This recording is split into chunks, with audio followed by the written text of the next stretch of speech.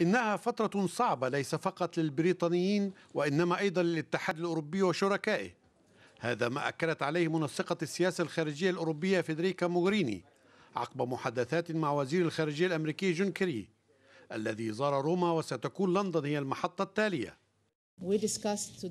ناقشنا شراكتنا القوية ليس فقط من أجل مصلحة مواطنينا وإنما أيضا من أجل السلام والأمن في العالم.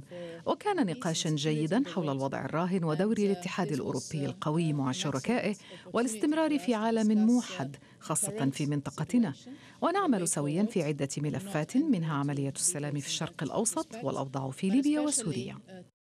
كيري خلال اللقاء مع موغريني ورئيس المفوضية جان يونيكر استمع إلى وجهة نظر الأوروبيين حول المرحلة الانتقالية بعد الوضع الجديد الذي أفرزه الاستفتاء البريطاني. قائلا إنها الديمقراطية ووجب احترامها. أتطلع للعمل بشكل أكبر مع موغريني وكل الدول الأعضاء في الاتحاد الأوروبي لكي نحقق طموحاتنا ومصالحنا المشتركة ونحن مهتمون بوجود اتحاد أوروبي قوي. وسنركز على التعاون معه في ملفات عدة منها التغير المناخي ومكافحة الإرهاب ومواجهة الهجرة. وفي الوقت نفسه واشنطن ملتزمة بالعلاقة القوية والخاصة مع بريطانيا. مراقبون اتفقوا على أهمية زيارة كيري لمؤسسات الاتحاد الأوروبي وحلف الناتو في هذا التوقيت. من أجل ضمان استمرار الشراكة القوية بين واشنطن وبروكسل.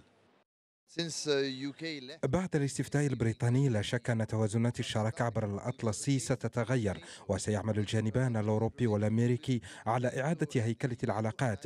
وفي الوقت نفسه سوف تعود العلاقات بين الجانبين في وجود بريطانيا لكن عبر حلف الناتو. ومن المقرر أن يعود كيري منتصف الشهر القادم ليشارك في اجتماعات وزراء خارجية الاتحاد في بروكسل التي تستعد لقمة أوروبية في غضون ساعات ستهيمن عليها تداعيات خروج بريطانيا من الاتحاد الأوروبي. الشراكة القوية سواء مع الاتحاد الأوروبي أو بريطانيا عقب الاستفتاء الأخير تلك كانت رسالة الوزير كيري إلى المسؤولين في بروكسل.